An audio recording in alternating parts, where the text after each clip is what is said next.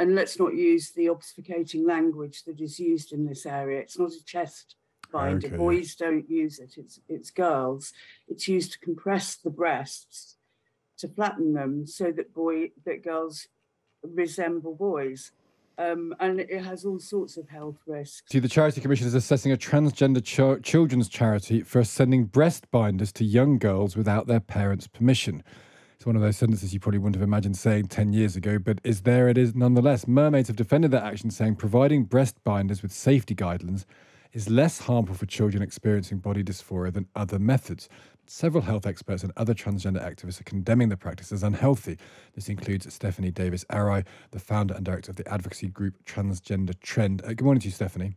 Good morning. Uh, what's going on here, here then? Uh, the Charity Commission is concerned about this. It's just looking at it at the moment. Um, what is a chest binding? What does it mean? What is it? How does it work? It compresses the breasts. So it's a breast binder. And, and let's not use the obfuscating language that is used in this area. It's not a chest binder. Okay. Boys don't use it. It's it's girls. It's used to compress the breasts, to flatten them, so that boy that girls resemble boys. Um, and it has all sorts of health risks. Apart from anything else, it, it prevents a girl from breathing properly. So girls can't be active. And we know, I mean, this is a real problem. At, at puberty, girls tend to stop being active anyway, stop taking part in sports because they become very self-conscious about their bodies, about their developing bodies. There's a lot of, you know, a lot of girls have um, big problems with their breasts, a lot of body hatred at puberty because they're developing um, in very visible ways and they get a lot of um, um, uh, attention for that development, which can be very uncomfortable, it can be frightening. Um, girls' bodies develop into a, a, woman's body before a girl maybe um, emotionally and psychologically mature enough to deal with the attention that that then generates some of it really inappropriate and frightening attention. And that also happens in, in, in schools with teasing by boys or comments yeah. by boys or groping. So all of those sort of teenage girl problems are now solved by this idea that if they don't enjoy it, they're not real girls, they must be boys, and here's the solution. But of course, it damages breast tissue it can damage the lungs, the ribs, the back, yeah.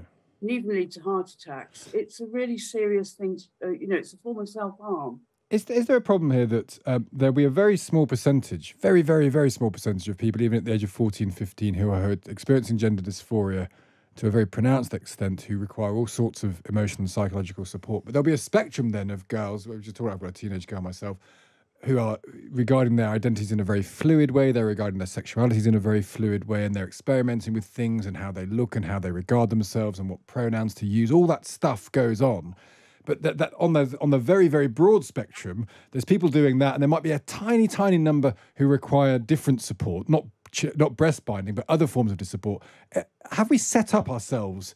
in this country in a way that can deal with those who need sort of clinical support and those who are just sort of teenagers experimenting? Think that, that to me is a. I think lots of people with teenagers will know that this idea of fluidity is, is very common. Uh, Stephanie, did you hear what I was saying? Yes. Yeah. G- g- what, what, did you say? Um, we're not dealing with the issue properly, or we haven't been. I think with the Hilary Cass review. Now, Hilary Cass was commissioned by the NHS to do an independent review of the Tavistock and found that, that basically the service that's been provided hasn't been safe for children. And the reason is partly because of these groups like Mermaids, um, a lot of these girls and, and boys um, are on the autism spectrum, come from care homes, have very chaotic backgrounds, have um, pre-existing mental health issues. Um, a huge, the majority are gay or lesbian. So we have to look at: are, are, we? Is this a new form of gay conversion therapy that we're telling children they're born in the wrong body? We have to understand that that children, that this generation of children, are bombarded with information online. That if they have what are actually the typical problems of adolescence, of body hatred and rejection, and all sorts of problems that, that adolescence brings, um, are indication that they're transgender, which means that a girl is really a boy. And charities like Mermaids promote the idea that, that these girls should be immediately affirmed as boys yeah. and set on this pathway which will, in all likelihood, lead to medical intervention. Yeah, because that, it's very difficult to come back once you start on that pathway. Yeah, and, and, and that, that, that level of decisiveness is, is clearly troubling to an awful lot of people. Stephanie, good to speak to you. Thank you for joining us today. That's Stephanie Davis Arrow. And there's, there's, there's also this uh, statistic, Asma, that mm. uh, it's, it's, it's, a,